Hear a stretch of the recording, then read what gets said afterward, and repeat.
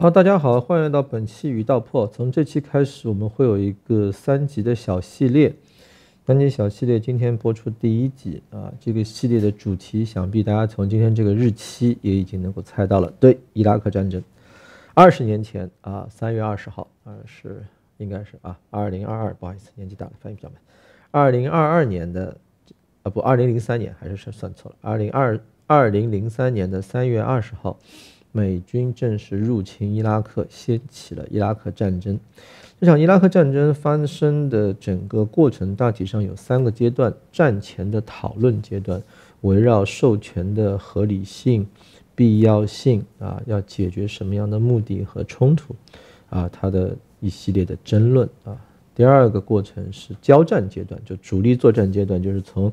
呃，他这边推进去到三月二十号，然后大概到四月九号前后吧，占领伊拉克首都巴格达。然后后来到了五月份，应该是五月一号，呃，小布什总统当时坐着战斗机，不是开着战斗机，坐战斗机后排在林肯号航空母舰上降落，来了个 mission accomplished，红警二结束的时候，这个任务达成，呃，停止作战战争交战行动停止。接下来启动战后重建阶段，一启动战后重建，整个伊拉克基本上局势可以用崩盘来形容。然后从二零零三年开始，一直延续到二零一一年彻底全部撤军为止，大体上。打了大概两三个两个月不到的这个伊拉克战争啊，是也整个事情的最终解决延续了八年时间，并且中间经过了两位美国总统，还加上一个金融危机。二十年以后，我们现在回头看，我们看伊拉克战争，第一集讲什么呢？讲霸权的傲慢和从神坛的下滑。伊拉克战争可以看成是冷战结束以后所谓的美国单极时刻，或者是美国霸权的一个峰值。当时大家有一句话戏称叫“美国啊是超级大国”，那么行为特征是什么？我想打谁就打谁，啊，我想怎么打就怎么打。虽然这话略显夸张，但是在对上一些实力远不如美国的中小国家的时候呢，啊，这个毫无疑问在当时是成立的。你看。九零年到九一年有这个海湾战争，啊，这个接下来有索马里的军事干预，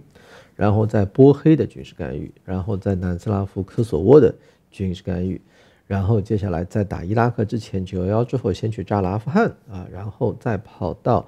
啊这个伊拉克，当然阿富汗最后也趋于失败啊，在拜登政府任内从阿富汗的撤离。大家见证了那个戏剧性的场景，就是有人紧密地追随美国军队坐运输机撤离，然后从天上掉下来啊！这充满了各种各样的隐喻，包括大家看到了，呃，又一次西贡场景啊，就一架直升机在撤离的时候啊引发的这种拥挤冲突和各种冲撞。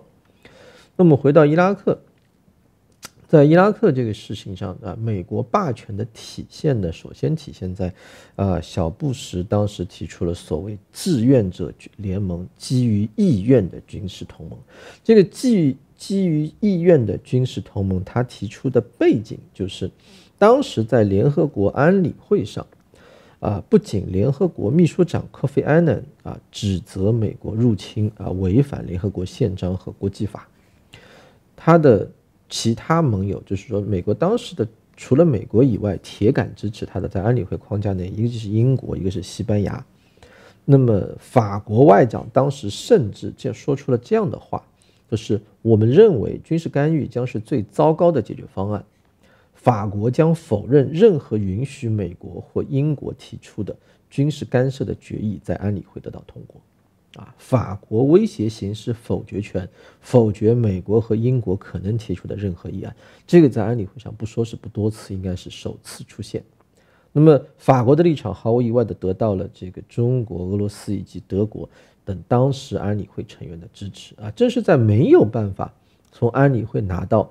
这种非常明确的授权决议，实际上后来他拿了个幺四四幺号决议，但幺四四幺决议里面是不包含明确的授权。动武的这样一种举措的啊，美国表示啊，他们会抛开这个安理会，建立一个志愿者的同盟啊，我要做一件事，我要去揍他啊，谁同意谁反对同意的站到我这边来啊，跟我一起去打。这是什么？这是美国霸权在冷战结束以后的高光时刻，它达到了这样的一个峰值，啊，拥有超强的军事实力，在经济上极度发达的，世界上最有钱的国家之一，在当时，同时在政治上，他的领导人啊，包括小布什，包括他的纽康，他的新宝们。啊，有坚定的政治意志啊！这种政治意志不仅仅是去使用美国的军事力量去打倒萨达姆，啊，去入侵伊拉克，而是以这次行动作为某种起点，去推动一个新保守主义治下的霸权秩序的这样一种诞生。啊，在之前讲课的时候，应该跟大家说过，就是。冷战结束之后，就是二十世纪八十年代末九十年代初，美这个苏联解体前后，当时美国的老布什总统麾下是有一批雄心勃勃的美国精英，他们觉得苏联的解体给了他们一个黄金机会，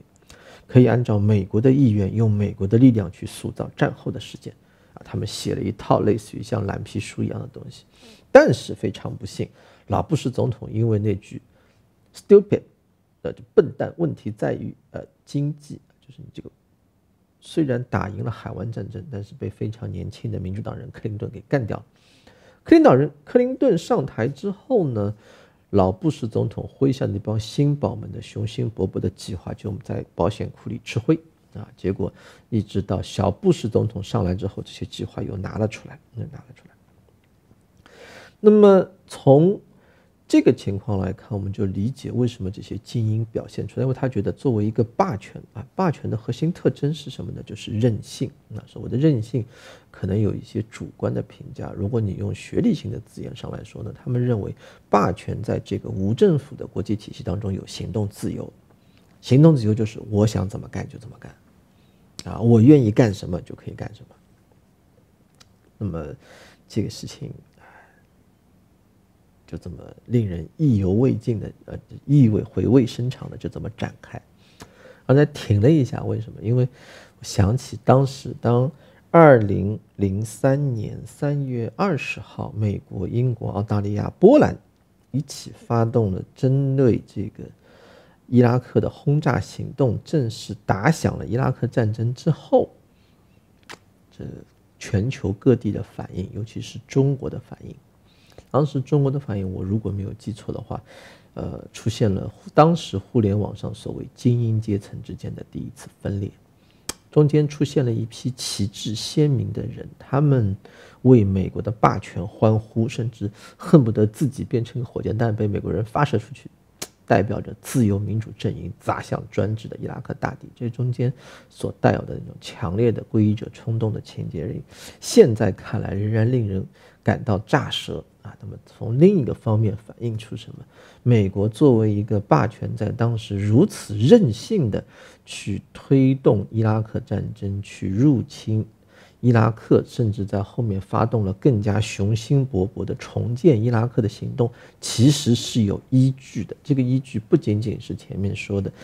这个经济、军事和政治方面的实力优势，还有那种观念和力量的优势啊。他们当时的普世价值在全球的传播，配合西方国家巨大的领先发展中国家的这样一种优势，使得绝大多数、相当一部分。这个美国意识形态和价值观的受众啊，拥趸们啊，坚定的相信他们才是代表人类前行的正确方向。所以，它不仅仅是一种物质性的霸权，它更加接近格兰西所说的一种文化和观念领域的霸权。那么，任性的霸权得到了什么？啊，任性的霸权，呃，他成功的推翻了萨达姆的政权。导致了阿拉伯复兴社会党的垮台，啊，入侵的第二个理由据说是，啊，除了干掉专制的政权以外。拿得上台面的理由就是那个著名的大规模杀伤性武器，这个瓶子比较大了，比这小一点的一个瓶子，在当时美国国务卿鲍威尔的手上向全世界晃动，他还拿着那个盖子讲啊，只要这么小的一瓶啊这样的东西啊，如果这是一瓶是化学武器的话啊，填充上这样的粉末或者是生物武器炭疽病毒的粉末啊，如在什么地方一撒就可以把大家通通都干掉，那是多么危险的一些事。当然了，实事求是的讲啊。啊，这个鲍威尔并没有仅仅拿出一瓶牙粉啊，就是 brush，就是 t t，那叫 toothbrush 那种东西，牙粉抹在牙床上的东西，他还拿了别的证据出来，比如说他展示了一段录音啊，这段录音里面有 A 有 B 两个人在那儿讲话，大概的意思就是，哎，东西藏好了没有？哎，东西藏起来了，你放心。他说：“这个就是截获的伊拉克军官的这个手机通讯。啊，他们说的东西呢，就是要避开联合国检察官的那种大规模杀伤性武器的证据。啊，说不定是一个什么卡车啊，说不定是一个什么实验室，说不定，总之认为他们在藏东西，这个藏起来的东西就是大规模杀伤性武器。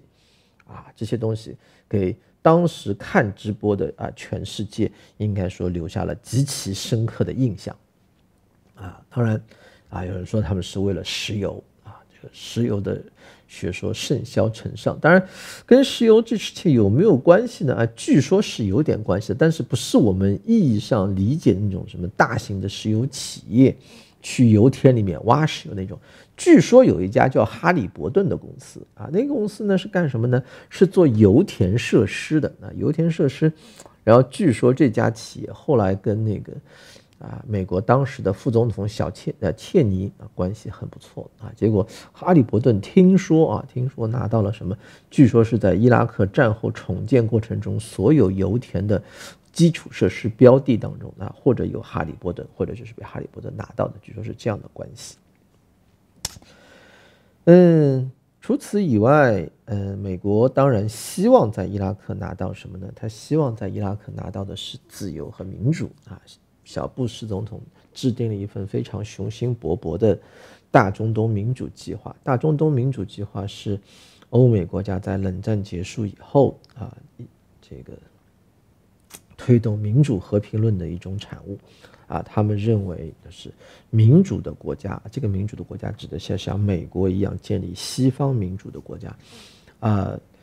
是相互之间是不打仗的。啊，那么就逻辑个推论：如果我在世界上把民主国家搞得多多的啊，把非民主国家搞得少少的，甚至我用啊包括不和平的手段在内啊，去把不民主的国家改造成为民主的国家，那么世界不就太平了吗？啊，当然，这个民主和平论啊，作为一种国际关系当中的理论，其实也是冷战结束以后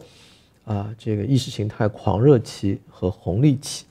的一种特殊的产物，为什么呢？它的标志性的成名作当中提到的案例，就证明民主国家不打仗的经典案例是谁呢？是美国跟加拿大。啊，你看这两个国家接壤，个儿这么大，啊，这么长的时间。他们居然没有打架，当然，这个没有打架的意思是你先把这个第二次英美战争的时候，加拿大民兵一把火把白宫烧的事情给忘记了啊。咱不说这么久远的事儿，就说二十世纪吧。进入二十世纪以后，你看到现在几十年没有打过仗，你看他们是民主国家，他们多么的爱好和平。当然，其实，啊，这种案例支撑起来的这个论据是很有问题。有人会说，那是，那是因为民主吗？那不是因为实力差距太大，实在打不过吗？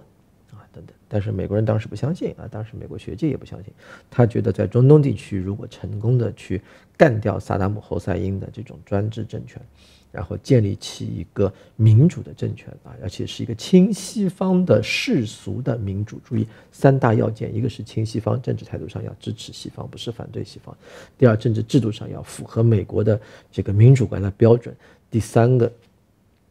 啊。这个是一个世俗的政权啊，符合西方国家。西方是现代化对于现代化的定义啊，不能是什么呢？不能是伊斯兰教网络啊，要避免伊斯兰教的特定派别啊等等啊产生这样的影响。但是呢，事实上证明啊，就是我们现在回过头去看，可以得出这样几条结论。啊，站在二十年之后，我们倒过去看，我们可以看出来：第一，伊拉克战争明明确确是一场非法战争，它极具争议性。他始终没有得到联合国安理会的授权，没有得到国际上多数国家的认可，更没有国际法的依据啊，更没有国际法的依据。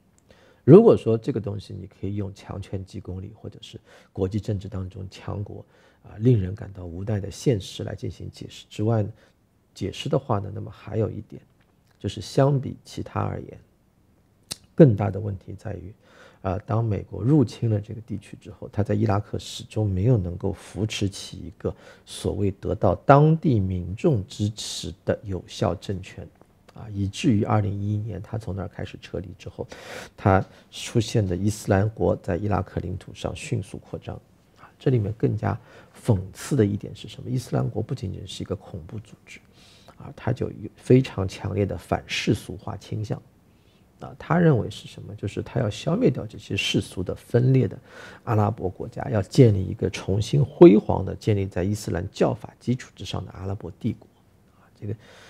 某种意义上说，当你去使用这个恐怖分子，就是用。就逊尼派和什叶派的这样一些概念去描述啊，这个中东地区的矛盾和相互关系的话，可能这些恐怖主义分子更加适合一些，而不是我们一般想象的国家之间，尤其是像伊拉克这样一个西方认为是非民主，但其实是世俗化程度非常高的国家。这也是中东地区在很长一段时间内的一个特色。这个我们会讲这个问题。那么。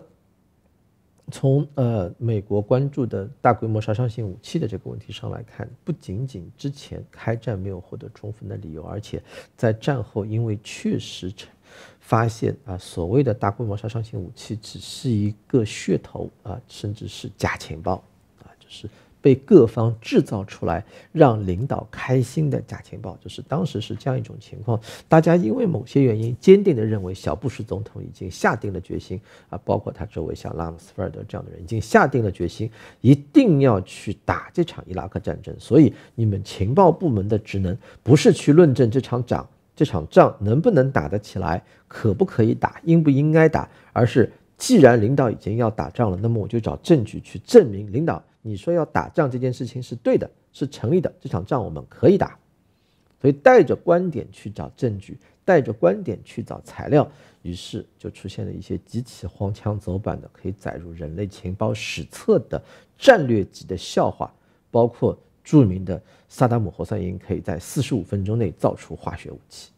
啊，这个消息呢来自于非常可靠的，不是有不可靠历史的。这个美国情报部门，它来自于诞生了蓝血五节的知名的英国情报部门啊。英国情报部门啊，不负众望啊，就像他曾经孕育了蓝血五节一样。这个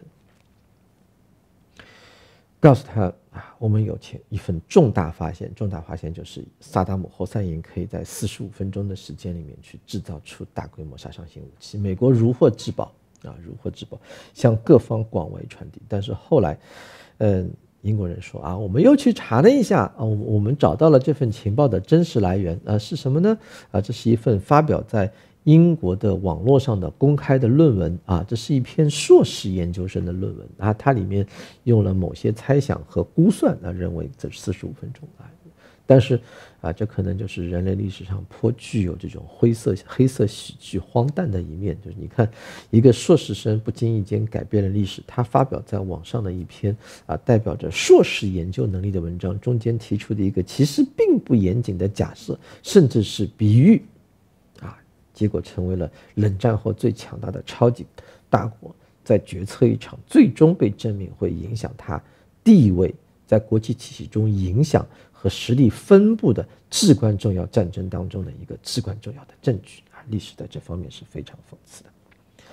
那么当然，这个从中东地区的发展和情况来看，美国在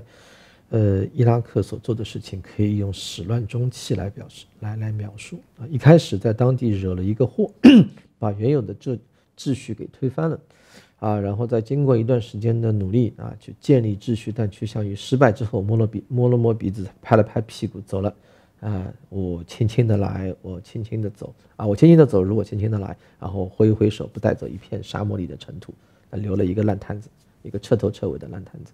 放在那儿，只能让伊拉克人民以及关注中东地区真正和平与稳定的人们啊去进行修复。当然，这里面讽刺的在于，当当地人找到了一些修复方案，这个修复方案又不符合美国的需求。比如说，他认为过度影响了啊伊朗的这个势力，让伊朗的势力进行过度扩张之后，美国又尝试出手去进行阻断和扰动啊，阻断和扰动。在这个时候，我们整整看到了什么？我们回望过去，回望二十年，二十年前发生的这场战争，而，这场战争从二十年前发生，然后延续了这个八年的时间，到二零一一年收尾。我们看到的是一个获得彻头彻尾行动自由的霸权，啊，以极其任性且不负责任的方式，在世界范围内谋求根据自己的认识和理解进行自由的行动啊，就像就像一头闯入瓷器店的大象，他在里面信马由缰，性之所至，这儿碰一下，那儿碰一下。但是呢，讽刺之处在于，尽管伊拉克是一个没有办法跟美国在军事力量上正面匹敌的弱小国家。但是历史老人并没有因此就赋予美国这个人类历史上独特的霸权国家以任意行动的自由。历史老人用他独特的幽默和智慧，给美国挖了一个坑啊！这个坑是美国自己挖出来的，然后美国自己对着这个坑走下去，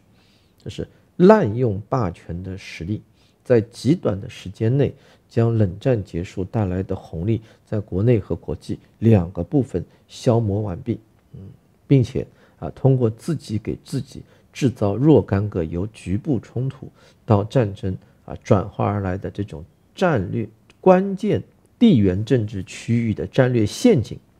以这样一种方式，把这个霸权慢慢的坑在了里面，把这个霸权慢慢坑在了里面。对于美国来说啊，在海湾战在伊拉克战争中失去的最大的是三样东西。第一个，在实体资源层面，它耗费了大量的金钱。把冷战结束以后，信息技术革命早期发展的还不错的美国经济给美国政府贡献的财政盈余，可以说损耗殆尽。第二，它极大的啊，近似于一次性的消费了啊，美国在冷战结后结束以后作为霸权的路人缘，所有围观的远距离观察、认识和理解。美国霸权，并且对此心存好感，或者是羡慕，甚至是仰慕，乃至于佩服的啊，这些民众以兜头一盆冷水，在决策要卷入这对伊拉克发动战争时候，美国显示出了自己的傲慢。啊，在攻打伊拉克的时候啊，美国显示出了自己的犀利。啊，在发动伊拉克战后重建过程中，美国显示出了自己的愚蠢。啊，与时代的格格不符和相对滞后，以及更加经典的美式特征就是自以为是。啊，这么的一种霸权，在冷战结束以后二十年到三十年的时间里面，借由包括伊拉克战争在内的各种事件，他向人们证明，啊，当这个霸权国家没有受到任何制约和牵制的牵制的时候，它是非常危险的。他会不加节制的放纵的使用自己手上拥有的一切力量，啊，去追求一切他认为值得追求的目标和理想，啊，在此过程中啊，不要说他不惜损害他的对手啊，他的目标啊，世界其他国家的合理的利益考量，他对于自己的利益的认识理解，可能也是一厢情愿和盲目的，而这种一厢情愿和盲目，最终会变成一个回旋镖。啊，让这个国家正是政治比较明确的理解到，即使是霸权，也不可能为所欲为，也不可能无限制的去追求自身实力和影响力的扩张，啊这种对自身实力资源无限制的扩张啊和滥用，第三个啊作用就是在这段时间内梯次消解并化解破坏影响了。美国从冷战时期开始一直延续至今，累积起来的某种声望，尤其是在国际体系中关于战争与和平的问题上，它所具有的某种声望，因为这是一场非法的战争，因为这场战争对美国本身基本上也是属于有弊无利的啊，或者说弊远大于利的这么一种状态，那么让大家认识到。啊，原来这个霸权，以及在这个伊拉克还出现过骇人听闻的虐囚丑闻，啊，包括美国士兵在伊拉克的胡作非为等等，这一切林林总总，从不同方向上减少透支啊，消耗了冷战结束以后啊，美国持续累积起来的各种软实力的声望和资源，同时更主要的是什么呢？美国这种依靠自身霸权实力在全球谋求行动自由、动辄打压、挤压、攻击对方国家的这样一些举措，让人们对于美式发展道路和美国霸权的逻辑产生了更深层次的疑惑。啊，大家开始思考，这样的一个世界是否是我想要的世界？这样的一个世界是否是我应该持续啊去忍受和接纳的这样一个世界？当然，讲到这儿呢，我们就可以进入到第二讲的主题啊。第二讲我们讲的主题会从哪儿去说起呢？秩序。这里面有一个问题，大家想过没有？就是美国为什么要以这样一种方式去解决中东地区的问题？